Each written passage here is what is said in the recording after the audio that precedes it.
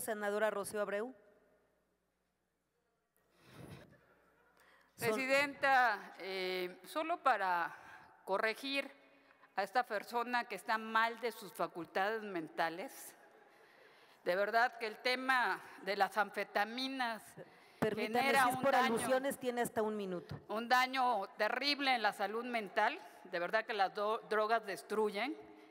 La que no gana una elección, pero ni, de reina del carnaval, esa que se dedica a extorsionar a la gente y al gobierno, cabildeando, que es lo que sabe hacer, porque es lo único que sabe hacer.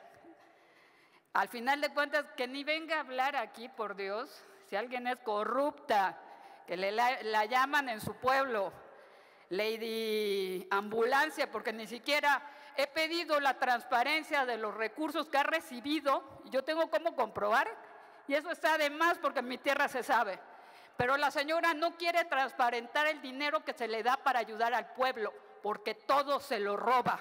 Y la ladrona es Lili Telles, así como es una mujer disoluta, como todos sabemos, y además es una mujer que no tiene ni moral, Concluya. que al final de cuentas ni en su pueblo la quieren porque no sabe ni siquiera para qué es senadora.